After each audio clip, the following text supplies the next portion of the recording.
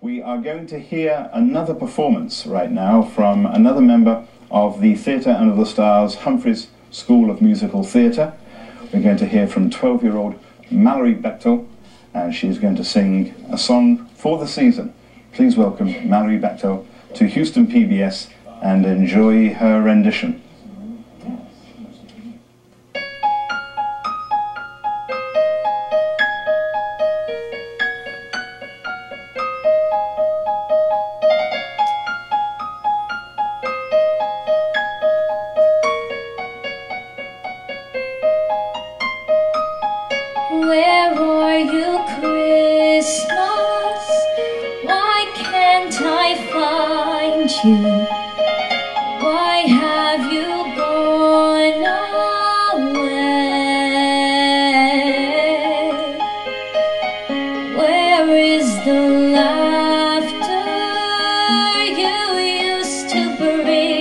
Me? Why can't I hear me? play?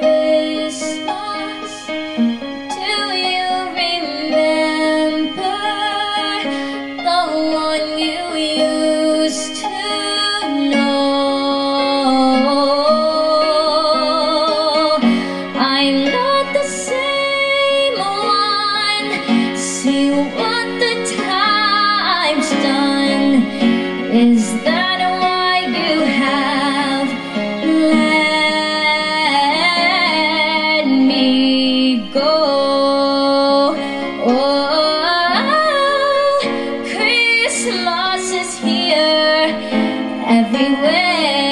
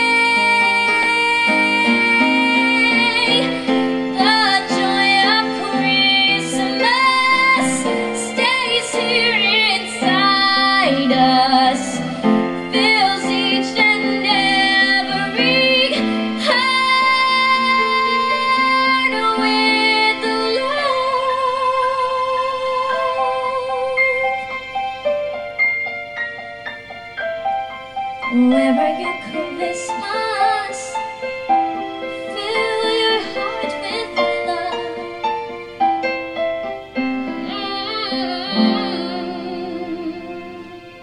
Mm. Two of our wonderful sparkling stars are with me right now. You'll remember them from earlier. Drew and Mallory, welcome to both of you. Drew, you had a rough start up there. They started Yeah, your track and then it went away. couldn't hear my music, but live TV. Yeah.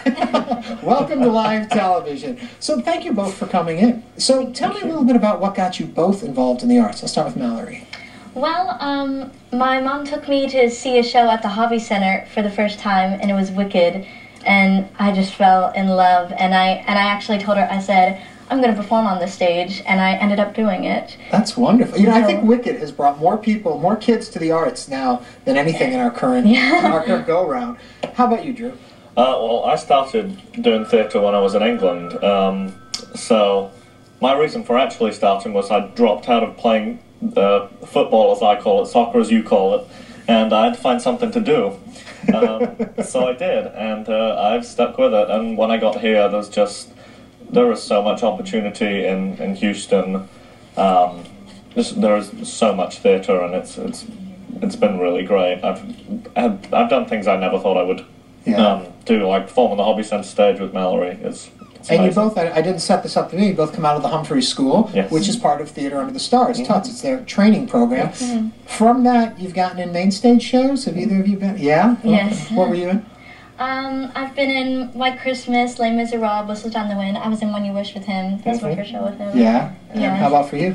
Um, I, I, I mean, we've done a lot of shows together. She was my sister in When You Wish. That was in 2008. Um, and uh, yeah, I did Sound of Music and I did Les Mis I, I would say there's probably something extra special. It's nice about the training classes that are out there in the schools for theater, but then to get to go and perform with the main company on the main stage adds a certain extra level, wouldn't you say? Definitely, definitely. Yeah. I, I read on your questionnaire that you had filled out earlier that people often think you're putting on that accent. They do. They. they it's, They think you're a- acting. A few. I think I'm acting. Yes. a few like uh, professional actors come in and they, they go, "Who's this kid? What? Why? Why is he doing that?" And I'm like, "I'm not. I, I, I promise it's real."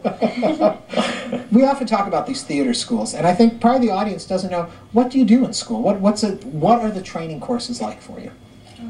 It's an after-school program after school, and we go up daily.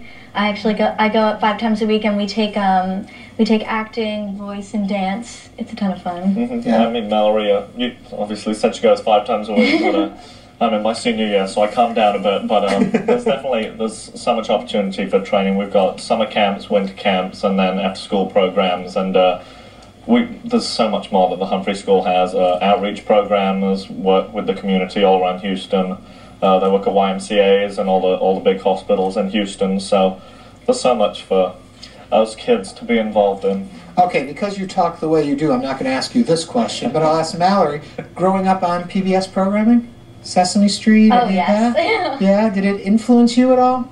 Yeah, I from Barney. You know, you're you're standing up singing along, and I think I think that might be what started me. All right, Drew, I'll try you on that, but you didn't grow up with PBS. I didn't grow up with PBS, but uh, I encountered it when I got here, and I just think it, it, it's great how it uh, promotes the arts. I mean, you've got things showing like uh, Les Mis, the, the concert, uh, was, was a few months back, and it's just great how it promotes the arts. Yeah, well, thank you both for your work in promoting the arts here tonight, and we're thrilled they're here, and we've got more to come.